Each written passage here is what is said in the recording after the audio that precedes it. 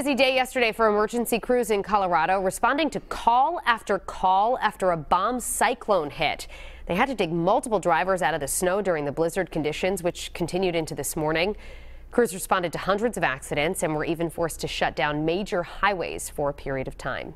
Now, here's Chief Meteorologist Tony Petrarca with your Pinpoint Weather 12 forecast. Why the term bomb cyclone? When a, a, cyclone or an area of low pressure, when the pressure drops tremendously, very, very rapidly over a 24 hour period, what we call rapid deepening, getting the name a, a bomb cyclone. And this storm across the uh, central plains yesterday just deepening, deepening tremendously. The net result an all out blizzard, uh, thunderstorms, heavy rain, wind. And that storm is ongoing this evening across uh, the Great Lakes, though it has weakened a little bit. But some of that moisture is actually headed our way, not severe like like that uh, for Friday. As we take a look outside in uh, Newport now under partly cloudy skies, cool but not very cold. We'll stay well above freezing tonight, not nearly as chilly as the last couple of nights. The humidity will be on the rise as well, and we do have some wet weather for Friday. Uh, scattered showers, some isolated thunderstorms, windy and warmer, some areas of fog. It'll be the kind of day where it's not going to be raining every hour of the day. So you'll have opportunities where you're outside, it's not raining or, or showering at all. But it's one of those days where you want to keep the umbrella on standby. I just think the better chance of downpours and maybe even some thunder would be during the afternoon and evening. During the morning, it's more kind of scattered and sporadic. Good news.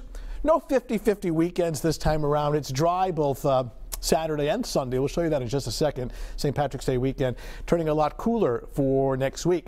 Now, high temperatures uh, for tomorrow, very location dependent. And the reason why we will have a sea breeze, the wind coming in off the water. The water's chilly this time of year. Water temperatures running only at about 41 degrees.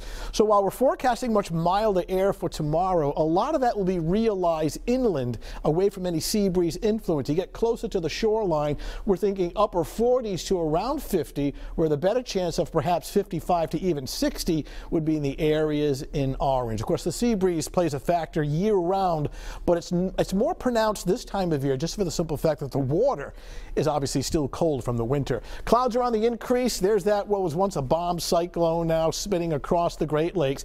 Attached to it a warm and a cold front. The warm front comes through overnight tomorrow morning with a couple of showers. The cold front comes through during the afternoon and evening with a better chance of heavier showers and thunderstorms. The whole thing is out of here just in time for the weekend.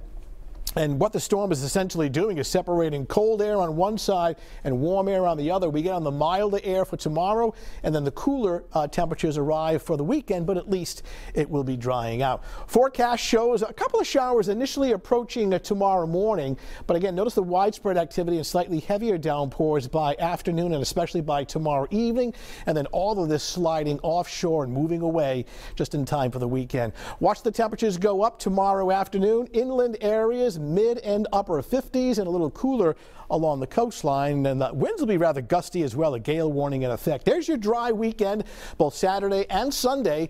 Uh, St. Patrick's Day parade in Newport looking good weather-wise and in West Warwick on Sunday.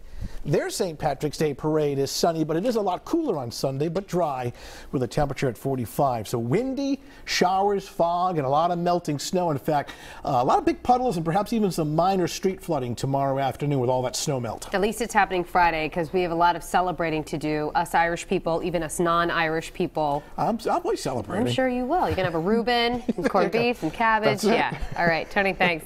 Okay.